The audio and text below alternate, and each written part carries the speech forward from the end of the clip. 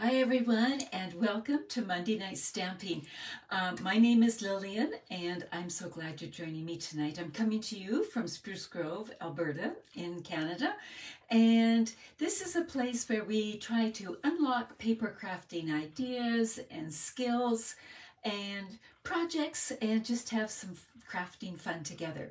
So in Canada, or in Alberta anyway, I think most of Canada, this is a long weekend. So thank you for finishing off your long weekend with me here tonight, or if you're joining live.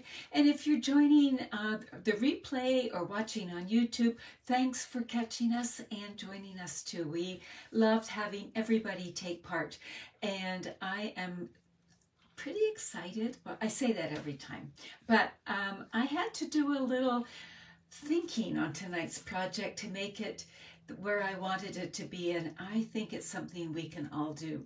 A lot of you um, really took part in last week's class um, project and the week before, so I'm really thank thankful for that, and I'm really glad that many of you are starting to share in my Facebook group. Um, we we love to see what you create and so that's super too. But i also love the community here and how you chat back and forth and um, kid each other or help each other out. So thank you for all of that. So let's just see. The question will i go down to my desktop. How um, do you like to spend your long weekends in the summer um, so, for example, lots of people like to go camping. There are lots of people who like to do the festivals because there tend to be tons of festivals going on. Some like to do family activities or games night or family reunion. There tend to be a few weddings, of course, and that kind of thing. So, what are things that, if you had a choice, or what, what would you like to do on a summer long weekend? Or what did you do? Uh, maybe you could share that too, just as I'm getting everything going here, making sure that we're actually going live and sharing it to my group. And by the way, I really appreciate it if you share my videos on your social media. So share with friends and family, and that really is a great thing. So they can take part too. Uh, enjoy the sun in the yard, relaxing and playing with the dogs. Do you know what, Judy? That's pretty much what we did today too. Um, and it was perfect. Took the dog for a walk. Well, as you, many of you know, we are puppy sitting for our daughter. So we've been getting lots of our puppy fixes in lately and it's been all good. I'm just trying to figure out where that black thing is right. I can see it on my computer, but I can't see it in my phone. So I'm trying to figure out where it is. Let's see if I go this way. There, I think we figured it out. Always something to keep my mind active, right? So we'll just move this up. Move these out of the way and we'll be set to go. So just a couple of things while we're getting all set here. One is the 30% off of all the kits and people are really eating this up. So remember kits come in all different shapes and sizes. There's this and there's this big one. There's all different kinds and one lady just contacted me today to order some kits, and she said she couldn't believe how much variety there is there now. Stampin' Up tends to bring a new kit out the beginning of every month anymore. So that is just a fun thing to be aware of. And I am finding I'm using them more and more. They are some really good stuff out there. Where to find kits? One of the places you can find them is to go to online exclusives and you can see them there or you can go to my website and click shop now and then there a menu comes down and you can click uh, kits and then you'll be able to see them just like that. So let me move this out of the way. And just one other thing that I want to mention. Um, whoops, helps if I've got it right way up. I am just putting the finishing touches on my Christmas in August in-person class. So it's coming soon. I just have to verify a couple of dates with the family and make sure everything's a go. But um, I'm excited. This is likely one of this all my Christmas ones, but these are likely some of my most popular classes. So um, just be on the lookout. I will be posting more about that in the days to come. Alrighty. Um, just a few days ago, I, I was planning to do something different tonight for Facebook Live. And then a few days ago, um, somebody posted, and I'll share her name in a moment, a project using this designer paper here and it was an absolutely stunning project. This, this paper is amazing, by the way. If you want to see the individual sheets, if you go to my uh, online store and then enter the code, you, you'll see it come up and it'll show a display, but down the left-hand side, you'll see different pictures you can click on and it goes through each page so you can see it um, clearly that way. So that's a good way to get a better look at things if you want. Anyway, I didn't have that paper, but I uh, decided to give it a whirl and I used the country country lane i think it is i'm having a memory blank here so this is how it works. And it's really kind of like three cards put together to make one. So you undo the ribbon and you open it up and you've got your Z fold here. And then you open up this and you've got a little pocket here for a gift card or for a bookmark. And then you open up this and it is another card just like that. So I fell in love with this and I'm going to show you the basics for how this was made, but then I adapted it a little. So the person who shared it was Charlene Silvestri Juhas or Yohas or whatever, something like that. Anyway, um, oh, I'm seeing lots of love for this card. I am so glad I'm not the only one that fell in love with it. So it is not hard. Basic, well, I'll show you why it's not hard. Where did I put my papers here? I'm just going to show you the basics first off. So here's a half sheet of cardstock, and I chose two colors. She you made it all in one. So here's a half sheet of cardstock folded in half. So that's your basic card, right? No, whoops, somehow or rather, my phone went down a little lower. And then um, I here's another piece folded in half. So she started out with a piece of cardstock, cut it in half, folded each of them in half so that they're four and a quarter by five and a half. Then she took this one and folded it back. And then she took this one and put the fold on the outside and snuck it in here like that. So when you opened it, it went like that. And then there was just another little card here and then the pocket here. So it's really, really not hard to do and it really looks impressive. And then I got to thinking, could I do this skipping the cardstock and just using designer paper? So that's where I started to do some playing. So let me bring in my, the designer paper I chose. So I chose the uh, Fresh as a Daisy designer paper. And do I have the directions for this card? I can post the link. It, several different demonstrators have done um, this type of fold, Judy.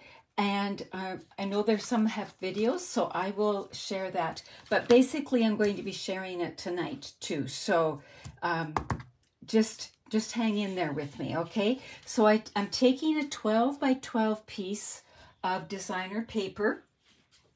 Let me just put it over there. And I'm cutting it in five and a half strips. Let me just see. Can you see there? Five and a half strips. So let me show you how it ended up. So here is one five and a half strip, so five and a half by 12 is that one there. And then I needed another strip that is five and a half by eight and a half. So this is going to be a bit of extra. So th there it is right there. We're going to use part of it. And then we have a one inch by 12 inch left over. So this, this piece is extra. This piece is extra for the main part of the card, but we are going to use it. And on here, we're going to diagonally cut a piece off here, and there's going to be a bit extra there. So in the newsletter, uh, the handout tutorial will be in Thursday's newsletter, and I will have a picture of this there as well. So let's just take these papers here. Now, the biggest decision is, well, first off, you fold it in half like that. So you've got your, your card, just like I did the white one. And then you're going to fold, maybe I'll fold it this way.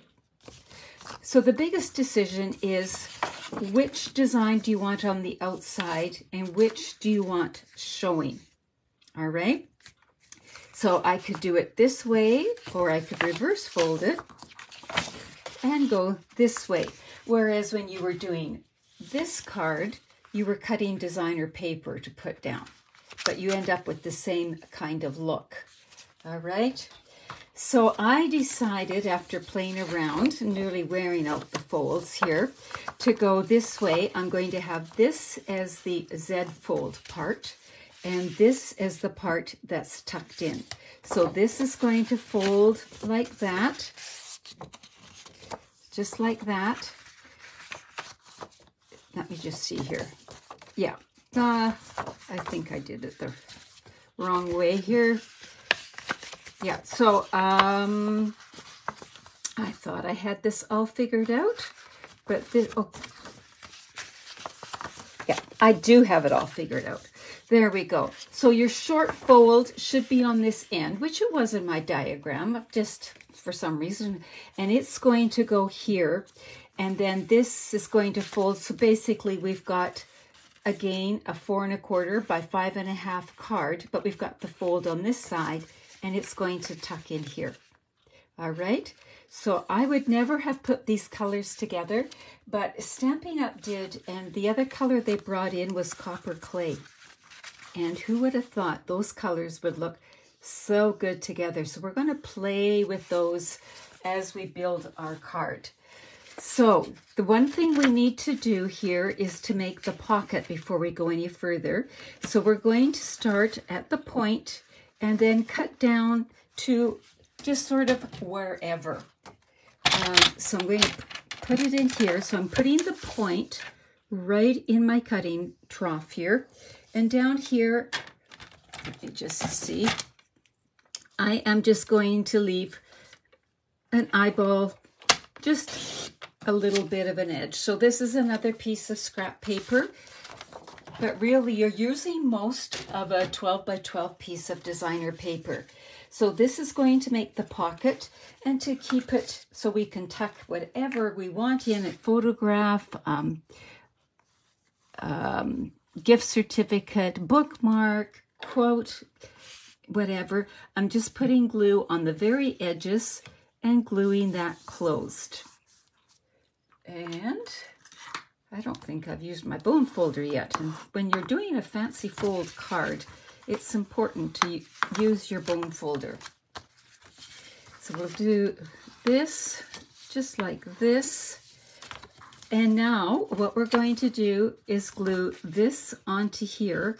And because we're putting it together, it even though it's made with designer paper, it's making the card pretty sturdy. Now you could flip it and put it this way too. Doesn't really matter. And maybe there's continuity there. I I don't think it matters. Maybe I'll do it that way. So just put a bit of adhesive here. Put this piece here. Now I, I'm going to close it up and make sure it's all even, but also I'm making sure it doesn't bind. So I'm closing it up and with the liquid glue, if it was too close to the fold, it would scoot it over a bit and now it doesn't bind at all. So now we have really the basics of our card. So let's continue on here. Let's bring in whatever we're going to do to decorate this part here. So we're going to actually bring in some copper clay. I tried the Moody Mauve and I decided the copper clay looked pretty neat. And then we're just going to layer it up like that. So in this card here, we used a different shape. So you can use whatever shape you want. You can cut rectangles, you can do circles, you can do squares, you can use whatever you want. And we're going to stamp on here first. And we're going to stick with uh, the the die set, the bundle. So we're sticking with the um, Cheerful Daisies bundle. And we're using predominantly the stamps. We're going to use a few dies here. And by the time we're finished, we will have used pretty much all of the stamps. So I've got them all here. And we're going to start, I don't know about you, but I am needing lots of birthday cards. So we're going to start with the birthday wishes and because it's photopolymer I'm going to add a little bit of cushion underneath by using my piercing mat. Now I also thought we could have just cut one of these out and put it on the front of the card too. So that, that would have been another option. But I decided to go through the different steps with you here. So let's do this and let's use some more copper clay. It's a nice rich color. It, uh, I, I really, really like it. There we go. So there we've got that stamped like that. And we can close that up. Now we're going to do a few daisies and we're going to do them in the Moody Mauve. So I'm going to start with the big open image first. I'm going to use full strength and, oh, we'll just stick it down about there. Yeah, there we go. I'm just going to move this card before I stick it in some ink. And then I'm going to use, I love this, whoops, still in here. I love this little half daisy too. So I tend to use that whenever I can. Just like that. So I've used them full strength. Now we could leave it like that but these are called two-step stamping, so we can also put, fill in the color. Just, um, so I'm going to do that, but I want it to be lighter. So I'm going to stamp it off once. And now, because I stamped it, okay. I did this earlier today with no pro there it is. No problem at all but you know, because you're watching me. There we go, and we'll do the same with this. Stamp it off once, so we get two tones from one ink pad. We can even get three, as you know, when we stamp it off a third time. So there we've got it just like that. Now we have some little centers, and um, this is Moody Mauve, but I'm going to do the centers in copper clay just to add a little bit of interest there.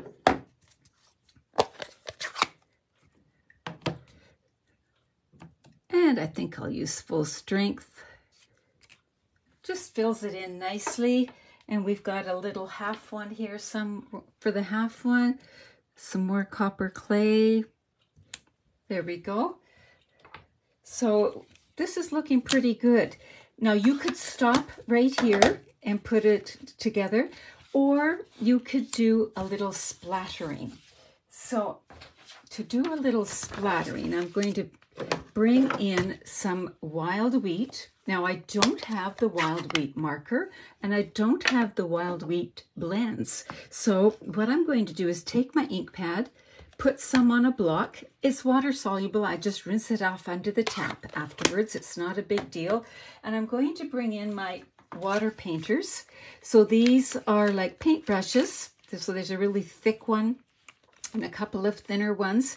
And you put water in the barrel and it's ready to go just like that. And so I'm going to put squeeze, it's the word push here. I'm going to squeeze some onto my block and just get some juicy color like that. And bring in my bone folder and just do a few taps. Well, may better make it juicier, I guess. Again, earlier today, this worked beautifully. Okay, watch me get a few blobs now. There, we're getting some. So if you like the spatters, there is a way to do it. And afterwards, I'll just clean that off and I'll also run this under the tap. So we'll just get that out of the way for right now. And we've got this piece done. So let's mount that onto here. Here we go. Now, because this card has a few layers, it needs to be held closed. Now, you're go I've got another card at the end. I'm going to show you where I haven't done this next step, but I'm going to do it so that you have options and you can see the difference. To tie it closed, I can either use the ribbon or the twine. I'm going to use the ribbon inside, so I think I'll be consistent and use the ribbon. I think the twine would look really good, though. So I'm going to drape the ribbon around. I need to see, do I have enough to tie a bow? So I'm just going to tie it. It's rocket science, right? Just, can I tie a bow with this? Yes, I can. So that's going to be enough ribbon. And I will snip that off. Take that out of the way. Looks like I need to order some more of that ribbon. Drop my scissors. So now what we're going to do is we're going to put the ribbon so it's hanging over the edge like that and make sure it's even. It's not quite even, so I'm going to adjust it like that. Now I'm going to say, okay, if this is on the front of the card, where do I want the ribbon to be? I think I want it down a smidge. I think I want it right about there.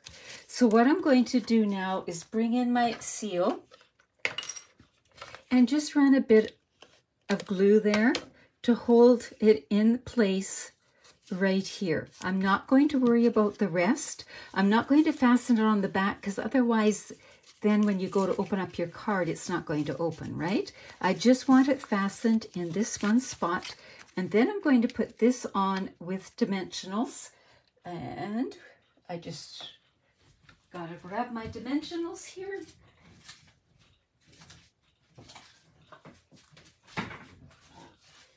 I threw them on the floor, so got my exercise for the night. So remember, we don't want to glue your card closed. So if it's going to go about here, I'm going to put some dimensionals here and I'm, I can catch that ribbon and that's okay. And then I'm going to put dimensionals along the edge that's going to go here.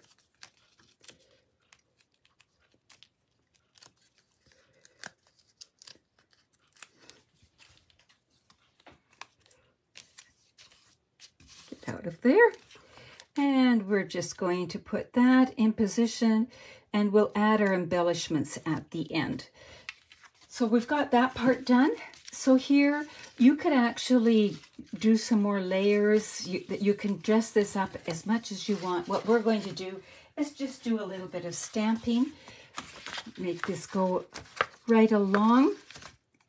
So I'm going to open this up and I'm going to bring in this stamp. And again, I'm going to use Moody Mauve. And I always forget how gorgeous it looks to stamp on designer paper. So I'm using full strength here, just like that. And then I'm going to fill it in with this. So I'm going to stamp it off once and go like that. And we've got a nice subtle daisy happening there. Now we have this great stem. So we can put it wherever. Whoop, I got, oh, Okay, guess what? I am going to be adding a little embellishment there. I forgot that I had my stem resting on here upside down to show you that you could bend it. So let's, um, let's bend it a little bit. And I've got some scrap paper somewhere. We are going to, first off, we are going to pretend that we planned it that way and add a bit more. Hopefully this will work. Let's see. Now, if we put this over here, we've got it looking like that. Now we're going to clean this. So I just did reverse stamping in that I used the back of the stamp there's always a way to fix things, right? There. Now, the reason it was like that was I wanted this to angle the other way. And when it's photopolymer, you can. You can twist it any way you want and change it so that it's going to go that way. So let's just put that to the side. We'll start the flower over again. And we'll bring in, we were using these two, right? We'll bring in, do the open image first. And then the closed. So I'm adding an extra step, but you know what? it's going to work out just fine, I think. You could always add some more words in here if you would like, whatever. But we're going to leave it at that for right now. Oh, we should add a leaf or two, right? I had planned for all of this to be happening on the designer paper, so you, you get the idea of stamping on designer paper. There we go. And I might fix this up a little bit at the end, but you, when I'm finished, but you do get the idea. So now we'll bring in this and we will fasten it there.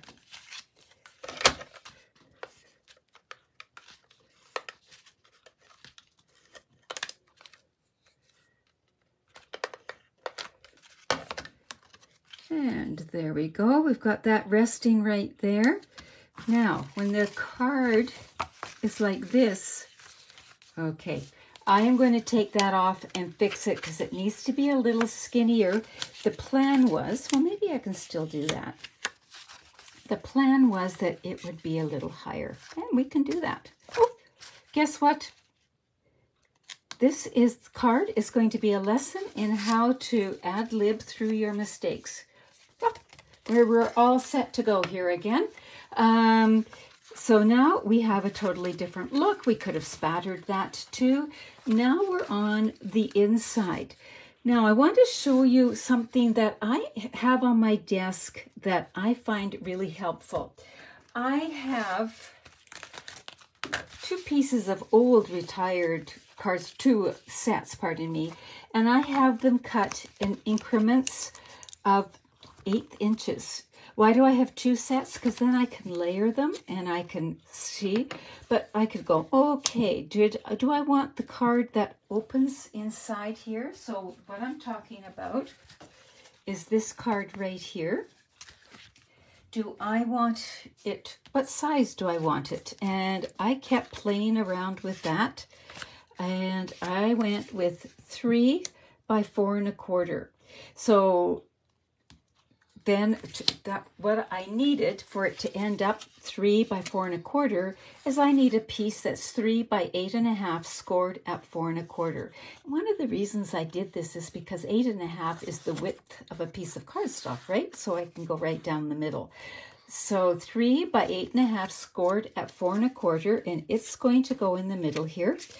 So we can get these out of the way. I also have done the same with window sheets, and that helps me when I'm planning my designer paper usage as well. You just might find that helpful. I don't know. So this is going to go on the inside. It's two and three quarters by four, so it's just a quarter of an inch smaller. So again, we're making a smaller card now. We're making a three by four and a quarter card that's going to fit in here. And this is where we're going to bring in that one piece of the designer paper that we cut off. And we're going to use a piece from here that is two and a half by four and a quarter.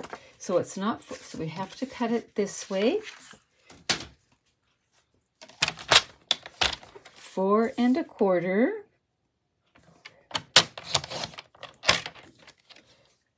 Two and a half.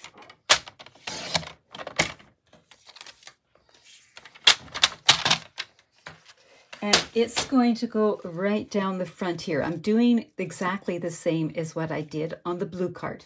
But before I glue it down, I'm going to bring that ribbon back in and just wrap it around the designer paper. So we'll just snip that off.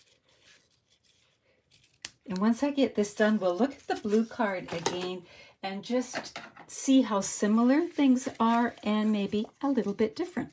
So we're going to put, just put some adhesive on the back here. Wrap our ribbon around. Take a look. Is it pretty straight? Yeah, it's pretty straight. And there we go. And so this is going on the front. Whoops, I'm going all the way down. Forgot about that. And then on the inside, um, it's two and three quarters by four. I stamped the, uh, some more flowers I stamped off, so they're a little bit lighter. So we're just going to fasten them in, them in, this piece in. Like that. And now we need to decorate this. I guess we could move this out of the way here. So what I thought was I would bring in a vellum circle and just some more of the daisies and put them together and put them on that circle. Just use some of the die cuts. So we'll just bring in our silicone mat and do the building on there. First off, we're going to put these two together. So it just adds three dimension kind of to the daisy. And let's put it right here. And then we're going to, we'll be cutting some of this off. So let's bring our vellum in. As always, we build on the vellum before we um, stick the vellum down. Woo! Got a little too much glue. That's not going to look very nice. Let's wipe some of that off. And we could put this on dimensionals, but because it's going to be inside, I want things to be pretty flat. So I'm going to keep it nice and flat. And I even have a little leaf that I cut. And let's see, where should we put that? Let's put that a little bit higher. Give us more room for the leaf.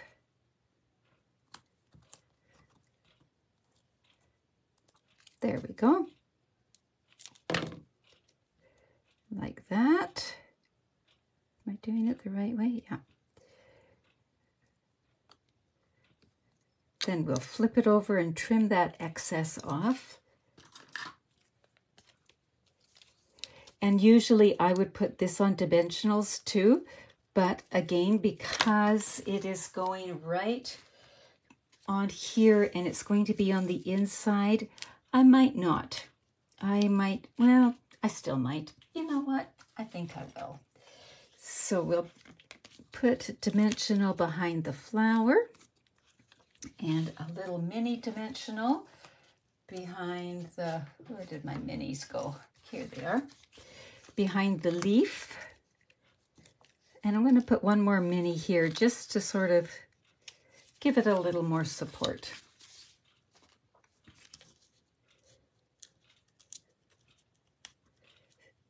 So you can see that any of these steps would make a card in its own, right? But you can put them all together and it looks just that much more special. So we're going to put that there. We're going to fasten this to the inside, just center it. So here are my folds. I'm going to center it here. Now I could have flipped this paper over and made it this, but I kind of stuck with the daisies, so it's looking like that. Now all we need to do is add our embellishments. So where did they go? Here. We could use the in-color embellishments uh, because they match perfectly with this paper, but I am hooked on these little butterflies, plus they're nice and flat, so they're not going to add a whole lot of extra to it. Okay, here comes my usual I'm just going to stick it down. There we go. So then we can put our gift card or a bookmark in here and we're going to close it up so it looks like this. We're going to tie it closed and the bow then is like a piece, of, an accent piece.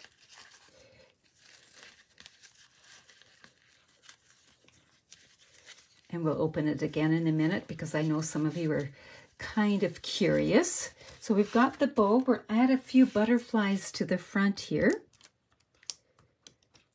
Let's see. We'll put a butterfly here. A butterfly here. And why don't we put another one? We can Ooh, it almost gets lost over there. There's another card I've made that the embellishment went over there. It looked beautiful. Anyway, so now you get the idea of how this card came together. Whether it was the blue one, where I used cardstock and um, then just added layers but it's the same principle. How I made the pocket here was I just cut a piece of designer paper and cut it at the angle and just put the glue down. So I, I just cut that extra piece. So this is how this one went. So this went like that. And again, you can even just use a die cut there. And so there's that one. I'll open this one up again for you. So here we go. Now, because the ribbon is only fastened in the front, we can still do this stand up and have this pop open, which is, I thought, really neat. And then we can open it up like this, put whatever we want in here, and then we've got another little card here. Now, if you were doing this for a large group, you could put places to write you could cut this off and just make this another place to write too. So the pocket is definitely optional. You can always cut that off. Now, I asked earlier today which designer paper I should use. And when I was practicing using designer paper for this design, I did use the other option. I used the Stargazer um, because it is simply stunning too. Oh, I just have to mention something here.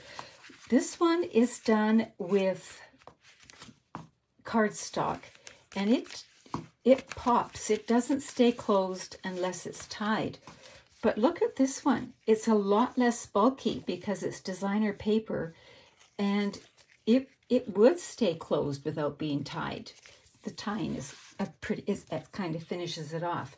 The Stargazer one, I totally forgot about tying it. So uh, there's that. So here's the same idea. I used the holographic paper here. It just went perfectly with this. Really a simple card. So it opens like this. And then this was the inside like that. And then I decided to put a gift card from Lillian in here. So I was just looking at this when I was building it and for Christmas time, wouldn't this look great with a nativity set or a snowman or something like that too? So even though it's the the uh, outer space one, it would look really neat. So this one will not tie closed, but it looks looks pretty good. So there we go. So those are three versions of the same fun fold. Um, some made strictly with designer paper, one made with cardstock, and I have just a couple of other cards I have to share with you. Um, our granddaughter just had a birthday, but she's away, so I had a little bit of grace, but she loves to do cartwheels and things. So I took the Zany Zoo, or the Zoo Crew, pardon me, and this one is doing a cartwheel. And then this is a fun fold as well. I already wrote in it, so I, I don't want to show you that. And then quite a while ago, I made this card where I just used the stargazing paper and the holographic paper, and I used the same stamp. And all it is is cardstock, designer paper, and and that. So a very simple card, but yet it's striking. So um, I hope that now you feel brave enough to try one of these cards. It really is not difficult to do. And I think it, it just has that wow factor because it has the card inside a card kind of thing, which we did a little while ago, didn't we? So if you've got lots of that designer paper, here's the way to go about it um, to use some of it. So uh, if you are needing some of these supplies, remember, reach out. I can help you with that. And uh, keep, keep watching for the um, Christmas in August and all of that information. And don't forget the kit sale because 30% off, whether you give a kit as a gift or whatever. I don't know about you, but what I'm hearing from a lot of our family is please don't give me a gift, give me an experience. And making a, a set of cards would be an experience. Talk much, an experience. So thank you so much for joining me on this long weekend in August and uh, take care, everybody. Bye bye.